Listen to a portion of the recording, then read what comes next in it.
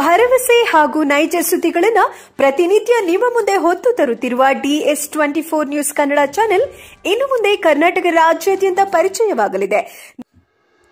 ಇತ್ತೀಚೆಗೆ ರಸ್ತೆಗಳಲ್ಲಿ ಭಾರಿ ಅಪಘಾತಗಳು ನಡೆಯುತ್ತಿದ್ದು, ಅಪಘಾತವನ್ನು ತಡೆಗಟ್ಟಲು ಇಂದು ಬೆಮೆಲ್ ನಗರ ಪೊಲೀಸ್ ಠಾಣೆಯ ವತಿಯಿಂದ ರಸ್ತೆ ಸುರಕ್ಷತಾ ಅರಿವು ಮತ್ತು ಅಪಘಾತವಾಗುವ ಸ್ಥಳಗಳಲ್ಲಿ ಮುನ್ನೆಚ್ಚರಿಕಾ ಕ್ರಮಗಳಾಗಿ ಬ್ಯಾರಿಕೇಡ್ ಮತ್ತು ಸಿಗ್ನಲ್ ಟ್ರಾಫಿಕ್ ಇಂಡಿಕೇಟರ್ ಅಳವಡಿಸಲಾಯಿತು. ಈ ಸಮಯದಲ್ಲಿ BEML police sub inspector Kumari Vidya, Shri Kumaraswamy ಮತ್ತು ಸಿಬ್ಬಂದಿಗಳಾದ ಚೇತನ್ ಯಾದವ್, ಅನೀಶ್ ಪಾಷಾ, ಶಂಕರ್ ಇವರು ಪಾಲ್ಗೊಂಡಿದ್ದರು. ವರದಿ ದೀಪಕ್ ವಿ ಮುಖ್ಯ ಸಂಸ್ಥಾಪಕರು DS twenty four news Kannada channel ಇದು ದಿನಾ ಸಮಾಚಾರಗಳ ಸುದ್ದಿವಾಹಿನಿ.